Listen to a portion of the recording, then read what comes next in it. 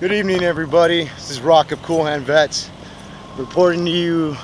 Well, it'll be pre-recorded. Uh, today's the 22nd of October. Roughly, actually, exactly 6:10 p.m. Over here in Signal Hill on Temple and 20th. In fact, I'm walking across these little oil rigs.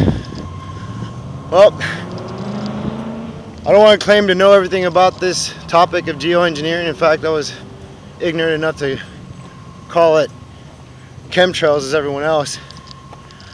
But uh, at least I'm not one of those people not acknowledging an obvious problem. Now they've been pretty light the last couple of days, meaning not really noticing them unless you get up early enough and you see the the nighttime uh, trails running off.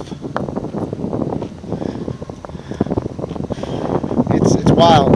It's wild that we're still playing this game. Please share this video and please post your own. We got to stop this tyranny.